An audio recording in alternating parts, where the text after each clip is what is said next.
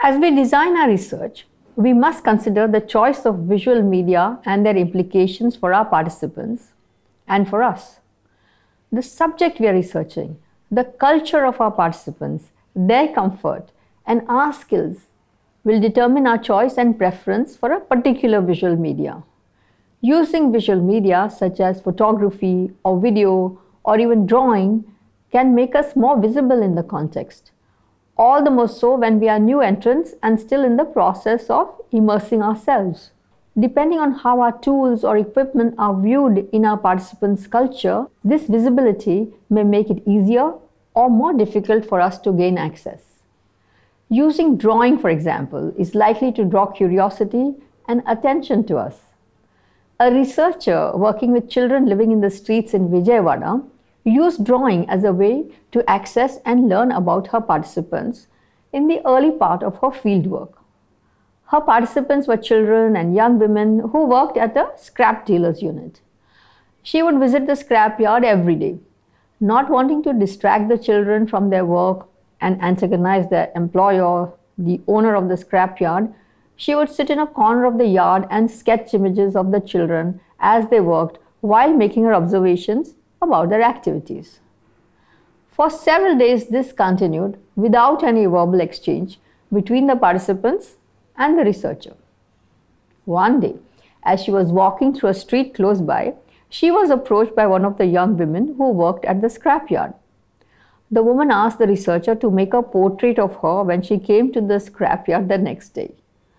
Drawing images of the participant had thus made her a benign and even welcome presence in the context. In fact, many researchers and visual artists find that drawing enables them to engage with participants as they observe and record. One such work is that of artist Prashant Miranda. Prashant is a visual artist who uses sketches to document his travels and observations. Here we want to share with you one of his sketchbooks where he recorded his time spent with the Gond and Baiga communities in Madhya Pradesh. In these sketches, we see the everyday life of his participants, the imponderabilia.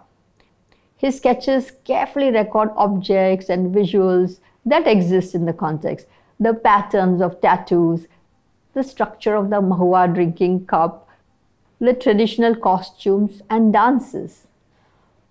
You might have noticed one drawing that explains two different processes of preparing the mahua drink. This sketch is made by one of his participants, Lakhan Lal Bharvi. This kind of shared record making makes the process a collaborative one. Let us hear from Prashant on how he uses drawing as a medium for engagement and learning. Hello, I'm Prashant Miranda and I'm in beautiful Katet which in the local Ayayjutham language of the indigenous people here, who are the Tla'amin people, this space and the word katet means working together. I was lucky enough in 2012 to spend some time with the Gond and Baiga tribes in Madhya Pradesh, which was just the most beautiful time. They were so welcoming and generous of me being there. But one of the things that struck me very deeply while being there was uh, the visual medium uh, with which they interacted amongst themselves, and I would say with the rest of the world or the universe. When I was in Bhimbetka, uh, there were these rock shelters and cave paintings from more than 20,000 years Neo-Paleolithic uh, drawings on the walls. And then in the Mesolithic period, horses were introduced to India. So then you see horses being drawn on these rocks, and then people on horseback after that. And the way of life of dancing, of uh, riding horses, of hunting, the, which for me was a way of documentation, a way of recording their lives, which I have been doing for close to 30 years in my sketchbooks. So the medium of drawing is such that we can participate and observe details and nuances of things going on in the environment, which um, sometimes cannot be communicated through words. While doing it, of course, I get to pay attention to a little bit more of the details going around. So, whether it is me drawing a tree or uh, a person's face or a building or a structure, it forces me to spend that much more time observing. And I find that to be an amazing uh, tool because uh, it's not as fleeting as a snapshot of a photograph because that is so immediate. It's like getting a little glimpse and you move on. Whereas drawing for me as a tool uh, helps me engage a little bit more deeper with my subject and participate in a way that's uh, I feel a bit a, a bit more of a dialogue that is happening. So uh, it helps me look at intricacies of details that I would normally not have paid attention to if I was just taking a little snapshot on my camera. Noticing that they fold their leaves into cups to drink mahua out of, or uh, you know, these little observations, I'll, and while drawing it, you'll realize, okay, this is a particular kind of leaf. And even if I don't have the capacity at that time to uh, find out what the name of that leaf is or from what tree it comes, it's a great reference for me to go back to at a later date and do some research on what these things could be. Whether the bamboo they're using as a still or a pipe, and the earthenware pot in which they boil these flowers, and how it is distilled.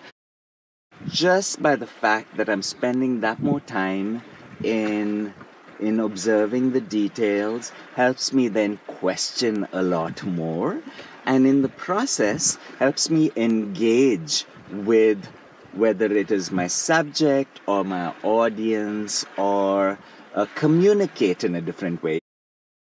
I've realized that one of the things about drawing kind of very simply breaks down barriers.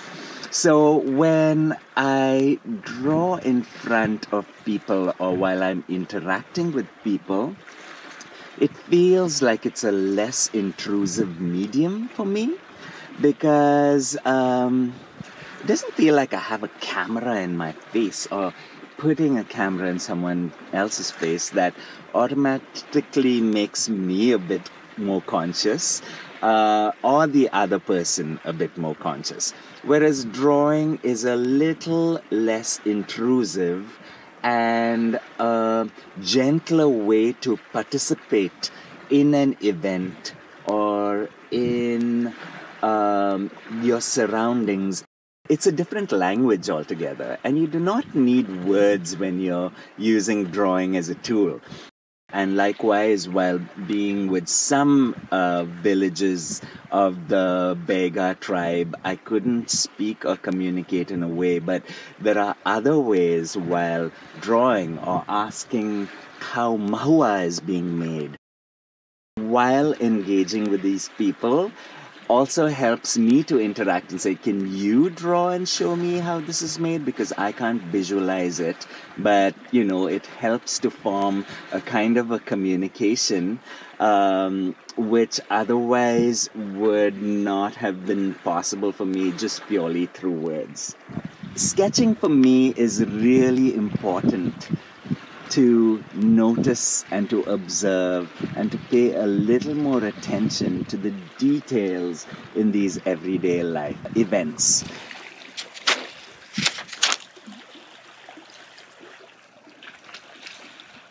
We see from these examples that people often enjoy being sketched.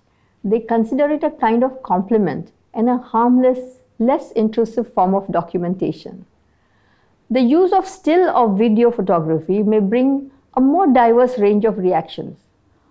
On the one hand, if photography or videos are already common in the context, making images can be a good way for us to be a part of the context.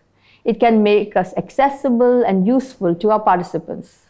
You might recall the visual ethnographer Sarah Pink, whose work we discussed in the last section.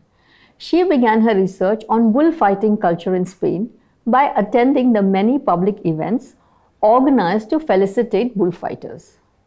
Photography is common at such events, and there are often professionals as well as amateur photographers present. Pink too would carry her camera along and make photographs as she observed the events. This made her feel comfortable in the environment since she had something to do there, taking on the role of an amateur photographer. And soon enough, people started asking her to make pictures of them. This enabled her to establish her role as a researcher photographer in the local bullfighting culture. Through this kind of engagement, she also got to meet others who were interested in bullfighting culture or amateur photography or both. Many of these people eventually became her friends and participants, and the images she was asked to make became valuable research records. Later in her research, she would discuss these images and the moments they represented with the participants who had asked her to make them. Through such discussions, she gained insights into what her participants saw as a valuable moment and why. For example, some of her participants wanted to be photographed with a particular bullfighter or with some other important person. This gave Pink a sense of the value that her participants associated with various personalities in the social world of bullfighting. However, if the camera is uncommon in the context or makes participants uncomfortable, it can create additional challenges in our attempts to gain access. This is something that anthropologist Kirsten Hastrup discovered during her fieldwork in Iceland. Hastrup was studying a particular event, an Icelandic sheep market, which is usually attended only by men. Uncertain about her own presence and the presence of a camera in a gathering from which women were otherwise excluded, the pictures she made failed to convey the essence and meanings of the phenomena. Instead, they showed completely uninteresting backs of men and rams. The presence of Hastrup, a woman from another culture with a camera, were both transgressions against the cultural norms of the gathering. Thinking back, Hastrup interpreted the poor quality of the images as a reflection of the inhibitions that she felt in going against these established norms. The tools, methods, and devices that we use often come to be associated with us and define how our participants see us.